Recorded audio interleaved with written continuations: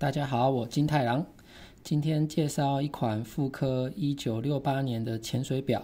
那在当年这一款机芯哦，它采用的是六一零五的机芯，所以呢，这款表也被称作是六一零五的后继款。那这一款表除了六一零五这样的名称之外呢，还有许多的名称哦。例如说，在七零年代，这只表呢曾经出现在这个战争的电影《现代启示录》当中。那影片中的这个主角呢，一名上尉叫 Wheeler，在这个上名上尉呢曾经佩戴这款表，所以呢这款表呢也变成了一个军表的一个符号。在海外呢，这款表呢一直有一个 Captain Wheeler 这样的一个称号。那它的外形，这款表外形呢非常的圆润，以及在四点中可以看到它是呈现一个不对称的一个表冠的一个设计。那因为这样的一个鲜明的一个特色哦，所以也被这个表名呢称作是鲍鱼壳。那特别是加上这一款哦是绿色的一个色面哦，所以呢也有人称作它是一个海海龟壳，或者是这个绿蜥龟这样的一些的昵称。在这些众多的名字当中啊，最有名的还是要算是植村包这样的一个名字哦。那必须要提到一位这个冒险家，叫做植村直己。那植村直己是呃日本非常著名的一位冒险家，他是世界第一位哦登上世界五顶峰的一个冒险家。那植村直己呢，曾经呢获得了这个赞助，得到了一只探鳄。要带去这个北极点哦做探险。那在这个出发前呢，因为探鳄是这个金属的表带哦，那他害怕这个金属过多的金属会造成冻伤，所以他把这个表带呢换成了皮带的。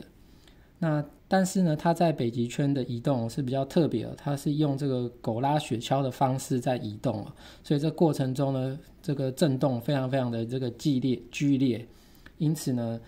这个他戴在这个手上的这个皮带啊，就断裂了，所以呢，最后他没有办法，只好用细绳呢穿过这个表头，然后把整个表呢系在他的这个腰上。那后来呢，有一位这个这个记者哦，他是后来呢来前来这个补给点哦来做这个补给以及采访，那得知了他这样的一个情况哦，所以呢。记者呢，便将便将他自己手上的一个表跟植村的表呢做交换。那记者手上的表呢，其实就是当年这一款哦六一零五这样的一个表款。那在这样的一个接力的一个情况下面呢，植村呢才完成了他到达北极点的一个壮举。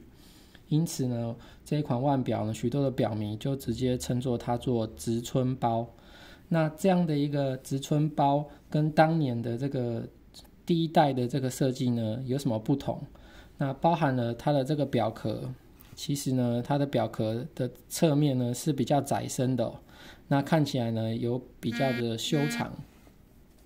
那并且，呃，它的这个旋转的表圈，第一初代这个旋转的这个表圈的指滑纹啊，它比较粗犷一点。那这个新款的呢，它更为的细致哦，而且缜密。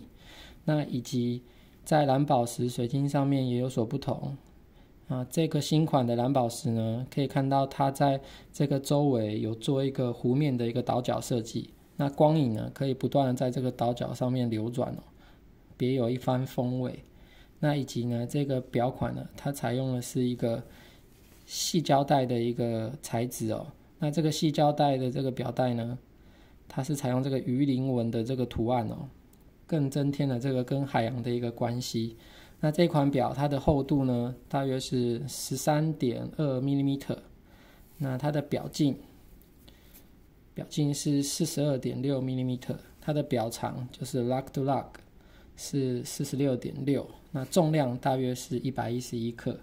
啊，希将希望大家会喜欢我的介绍。我们下次见，拜拜。